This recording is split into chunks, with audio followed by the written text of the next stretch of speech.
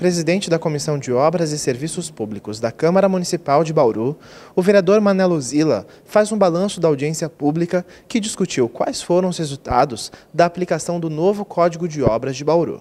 A audiência pública foi realizada né, para que a gente pudesse fazer uma avaliação do Código de Obras que foi implementado recentemente na nossa cidade e a gente queria ouvir a população a respeito do que é, estava ocorrendo e se houve uma melhoria. A gente colhe né, posicionamentos antagônicos, mas sempre no sentido de é, ser é proveitoso né, de contribuir com a população. Ainda há necessidade de alguma melhora, né, mas tem sido eficaz, tem é, melhorado a vida da população, especialmente em relação às aprovações né, e o tempo de aprovação.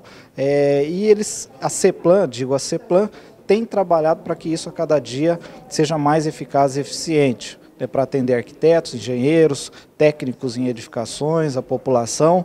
Então a gente, é, enquanto comissão de obras, é, vem contribuindo com toda a sociedade, democratizando o processo, trazendo a população para discutir é, projetos e assuntos relevantes como esse do Código de Obras.